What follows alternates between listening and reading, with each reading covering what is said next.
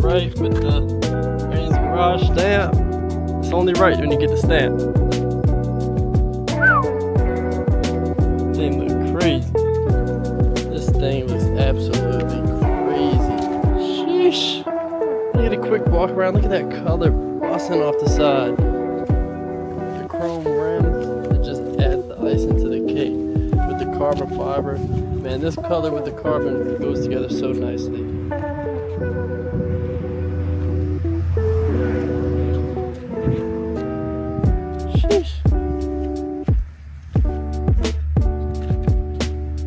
That thing looks crazy.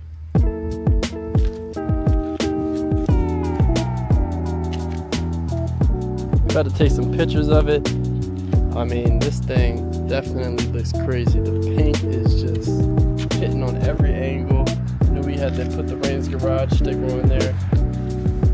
Getting it ready for pickup. About to take our pictures. And sheesh, this thing just looks crazy. Like a whole new car. You can't even tell it was blue. Let me know what you guys think of this new color on this Honda Civic. We did our absolute best to make sure we hid every single piece of sliver of blue and I think it turned out pretty clean. I think the wheels complement this wrap so well and uh, yeah let me know what you guys think. I definitely think it turned out pretty crazy. Definitely won't see too many Honda Civics in this same color unless it's this one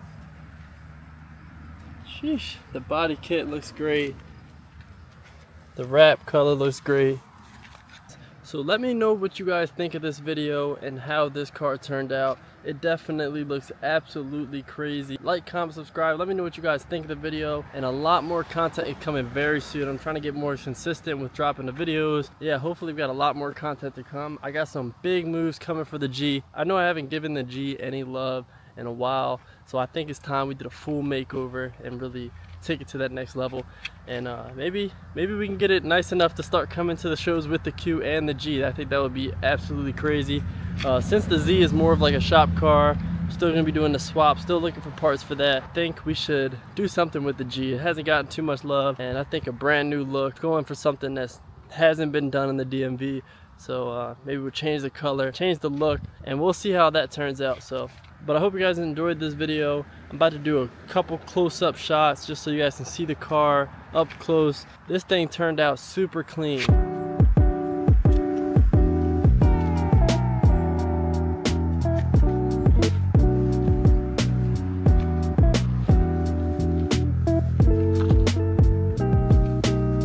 One piece the side skirts. Everything is pretty much one piece.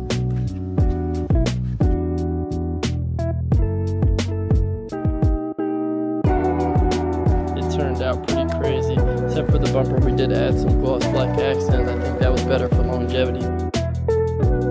But it goes well with the gloss black accents on the side skirts, the roof, the door handles. And we did end up wrapping the door handles. They didn't actually want to do the covers anymore, so we went ahead and wrapped it for them. And it turned out really crazy. Super clean. Yeah, let me know what you guys think of this color shift. I definitely think it turned